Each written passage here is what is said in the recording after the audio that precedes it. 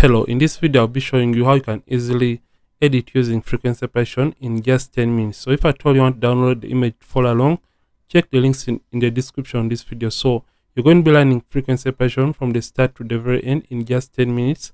So frequency separation divides the image into the colors and the textures. So just come to this very image and make sure you press Ctrl J or you can use Command J for Mac so just do that and after name this to color and name the upper layer to double click to rename just name the upper layer to textures. So about my spelling so texture. And after doing that just come and hide the texture and select the color layer. And as it is mentioned right here simply come and select the color layer. So we only want to remain with the colors in the color layer. So just come to filter and come to blur and come to Gaussian blur so look for a point in the skin that has most of the textures. So take the radius down make sure the preview is on look for an area that has more textures and left click on the radius and start dragging it up. So left click and hold down and you start moving the slider. And you stop at the point whereby you are just starting to close out on the details in the skin or the textures and click ok so after doing that, we're just going to come back to the texture layer, select it and now activate it. And after activating it, simply come to image and come to apply image. So when you come to apply image, basically what we want to do is make sure that you come right here and select. So the source is the name of the image. So just come and select the color layer. And after selecting the color layer, make sure you turn on the invert option. The channel is RGB make sure you set the channel RGB. The scale has to be 2 and offset 0. And the blending has to be add. Opacity at 100%. Preserve transparency and mask cannot check. And you are going to be good to go. So those are settings for a 16-bit image. So if I told you have 8 here, it means make sure the invert option is not is not turned on for an 8-bit image. After selecting the color layer, select subtract as the blend mode. The scale has to be 2 and offset 128 and you'll see the textures on this gray layer. So i'll change mine to a 16 bit which is add invert then i'll come and simply hit ok. Come to the blend mode right here and change it from normal and change it all the way down to linear light and you'll get back the image the way it was meant to be. So select both layers and press ctrl g on the keyboard. And you can so when we hide the original image we basically have the same image which has been separated into the colors and the textures. So when you combine both we end up with the same image. So after doing that the next thing is going to be working on the skin or doing the skin retouching. So select the color layer because we want first of all blend the transitions within the skin. So select the color layer and hide the texture layer because the reason for hiding is because we don't want to be distracted by the textures as we're trying to even out the skin tone. So select the color layer come under the brushes right click or click and hold down and simply select the mixer brush tool and make sure the hardness set to zero and clean brush is selected because want Photoshop to automatically clean the brush as mixing different areas of the skin because they contain different colors. Make sure the option that says clean the brush after each and every stroke has been selected with a weight of 9%, load 75, mix at 90, flat 100%. Make sure sample all is not turned on and start painting on the skin. So how to paint, we basically mix a given color by left clicking and holding down. So you left click and hold down. So if at all it is showing a plus icon, make sure you press the caps lock on the keyboard. Then to increase or decrease on the size of the mixer brush tool, you can use the open and close brackets on the keyboard. So how to mix a given area, you make sure that the size is relatively small and can mix a given color and blend a given area or colors in a given area. So you left click and hold down and you drag to mix a given area and left click and hold down if at all you want to work on another area. So you left click and hold down and you mix the colors to blend them better. So when it comes to a bright area, you release the left click button and left click once again to mix a given area or a new area.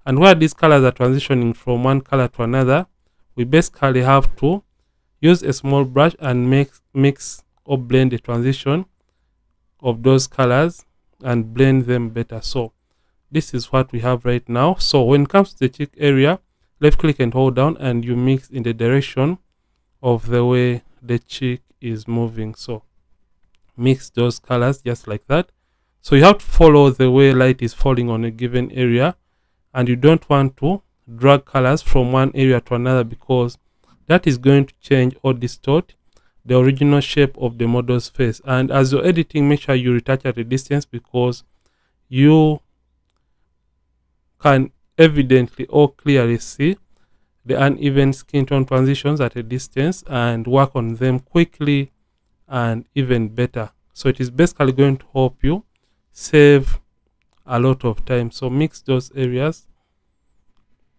So on the nose you have to move the strokes of a brush in this kind of up and down direction to blend the transitions between those colors. So reduce on the size by using the bracket key and work on this highlight on the nose to blend it better.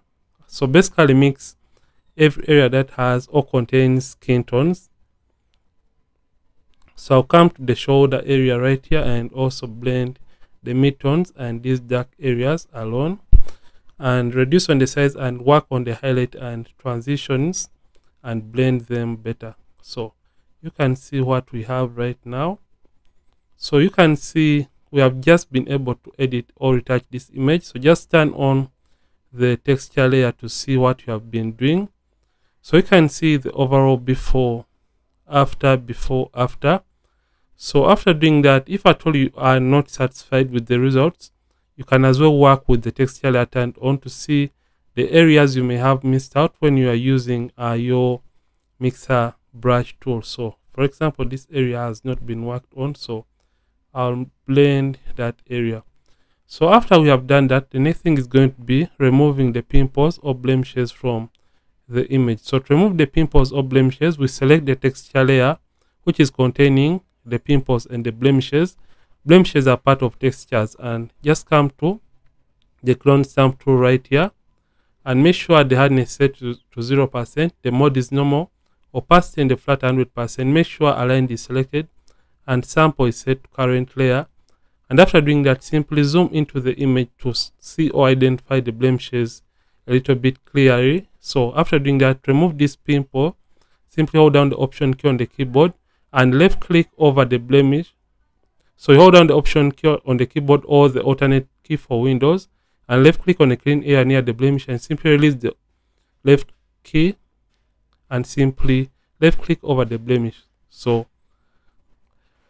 I'll repeat this once again. So to remove a blemish basically you hold down the option key on the keyboard and left click to copy clean skin on an area that is near the blemish and simply release the option key on the keyboard and you left click over the blemish to replace the blemish with clean skin. So basically that is how the clone stamp tool is going to be working for your blemish removal. So take your time as you're trying to clean up or remove the skin imperfections or the blemishes from your image so i'm just going to remove all these tiny skin imperfections and blemishes so like i said take your time always as you're trying to clean up and remove these blemishes. So after you have removed the blemishes the next thing is going to be saving the image so it doesn't change in color. When you print it out or when you post it on social media. So to do that simply you can see what we have been able to achieve for the skin retouching. So to save the image simply come right here to file and come to export and come to export as and it's going to open up the export as window. So when the export as window is going to be open in photoshop. What we want to do just want to save an image that won't change in color when we print it out or when we post it on social media. So it's going to open up this window and make sure you put in these options. I don't know why it is taking a long i don't know why it is taking long. So file export and come to export as so it is going to bring up this and make sure you set the format to jpeg right here and put the quality all the way to the maximum, which is the highest quality. Make sure the sample is set to bicubic sharper. So click on the, this drop down arrow right here and simply select bicubic sharper. So I'll delete one of these images. So just come and select bicubic sharper right here. And after doing that just come and embed color profile and convert sRGB make sure that two options have been checked right here and simply export the image. So this is how you can easily edit an image using frequency separation from the very start to the very end. And if at all you have enjoyed this simply like this video.